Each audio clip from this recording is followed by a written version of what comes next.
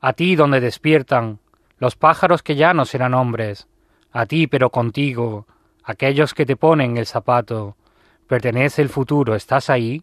Aquí, aquí, mía, eres dulce otra vez y eres oscura, y nosotros que aún vivimos el pasado de la luz, en esas pobres chozas de la zeta, con el tejado soportando heladas, ramas caídas del bosque, las piedras del callar que son tan grandes, o nosotros tan mudos como nietos, confiaremos también en tu trompeta.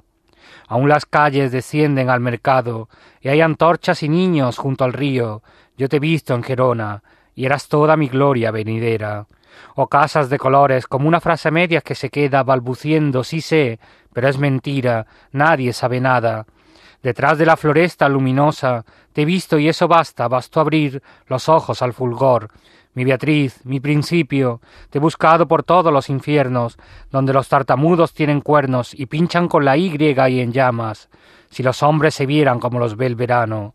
Tú eres nuestro sol, el que empieza a sonar bajo la lengua y dice Yo soy la primavera y la verdad, la primera palabra que abre el primer libro, pan que puse en mi boca, porque estaba bendito pan que puse al pie de las montañas de mi boca, para que ardiera y hablara. O yo diré tu gloria, yo diré que en ti despertarán todos los muertos, pues la semilla muere donde nace mía.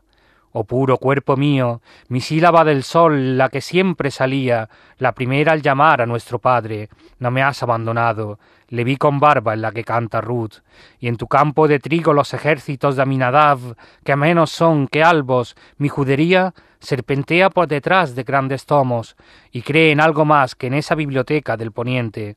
Feliz quien te abrazó y te hizo suya, oh mi oración que empezará por ti, cuando no tenga boca con que rezar siquiera, ampárame, ampárame y ponme siempre en pie ante ti, para que yo no diga, para que yo sí vea, armaduras, castillos, juglares que cantaron, hasta el fin de los tiempos, a mi estrella polar.